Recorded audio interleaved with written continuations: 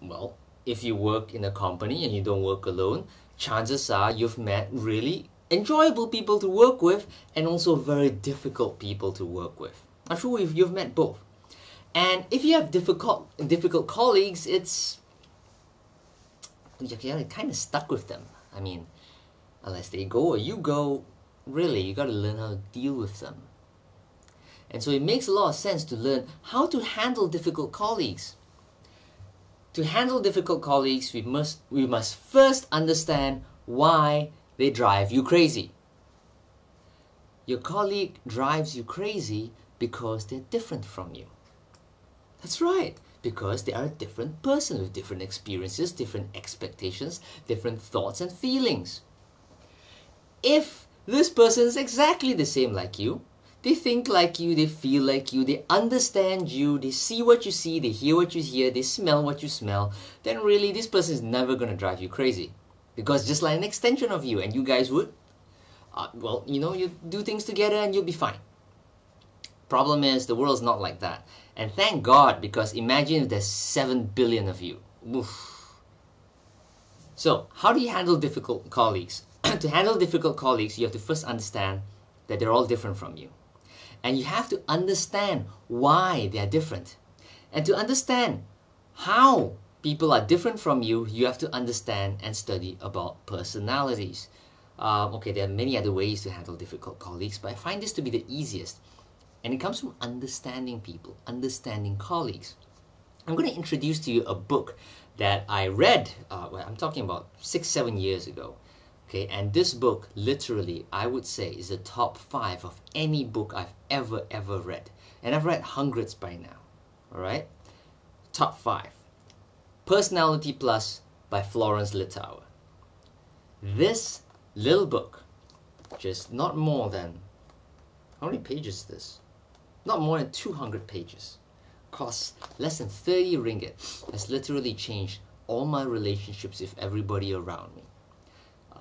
I've, if I've gotten a lot of business out of this because I understand my colleagues, I understand my customers better. I mean, this thing is the top five. Maybe not the top, but very close to the top. So I would say read it. And inside here, they talk about four different personalities that people have. Now, um, you're not limited to a single personality. You could be any of those four, or you could be a combination of any of those four. I've seen all different types of people. And the four different personalities, I'm going to very quickly go through this, um, just give you an insight. There's the sanguine, there's the melancholy, there's the choleric, and there's the phlegmatic. Don't worry about the terms right now, but I'll very quickly explain this. Number one, the sanguine. Sanguines are kind of like, you know, kind of like people like me. Um, yeah. And um, sanguines are the, the good thing about sanguines is that they're typically the lifeblood of the party. Uh, they walk in the room and suddenly the party starts. Um, uh, they are people people. You know that means they like people. They love people. In fact, they relax by uh, hanging out with people. So they're people people and uh, they're very bubbly, they're very cheery most of the time. The problem is the challenge and the weakness about uh, about sanguines is that they are very, very disorganized and very, very forgetful. The second personality is called melancholy. Now, melancholies are great organizers. They are very organized. They are very good planners. They think about all the different aspects of a project before they want to start. Now that's the great thing about melancholies. The bad thing, or you know, I wouldn't say bad, um, a, a weakness is that melancholies, if they're not careful, plan too much. They pay too much attention, too much detail, and you know, they get bogged down. Uh, melancholies also have a challenge with, you know, some melancholies just don't know how to have fun. Um, and, and some melancholies are what you call worry bugs. They worry a little bit too much.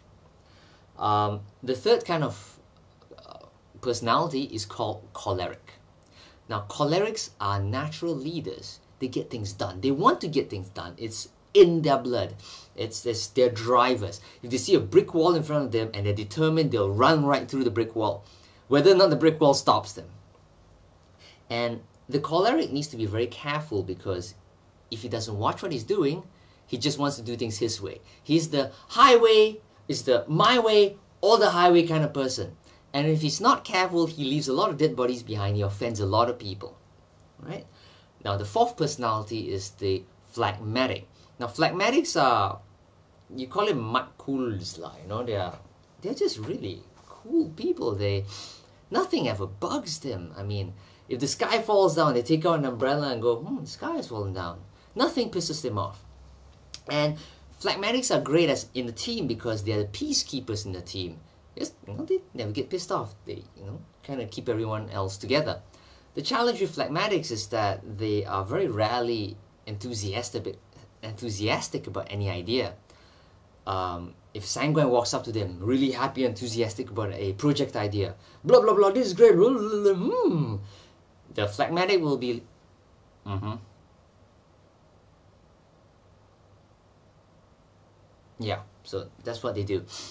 And here's the thing, and here's why different personalities, different kinds of people drive you crazy. If you're a melancholy and your project teammate is a sanguine, now melancholies are very detail oriented, sanguines are very messy. Guess what happens? Inadvertently, you drive each other nuts. Little do you know you guys need each other because the melancholy who plans too much and does too little when paired together with a sanguine who plans too little and does too much. That's a great match. If you guys know how to get along it's a fantastic match. A match made in heaven. I'm going to give you another example. Why your colleague might drive you nuts. If you're choleric and your colleague is also a choleric and you get two people who wants to do things their way my way or the highway, you guys will drive each other nuts. So guys, pick up this book. Do yourself a favor. In this video, I definitely do not have enough time to go through all this. This book will change your life. I'll see you next week.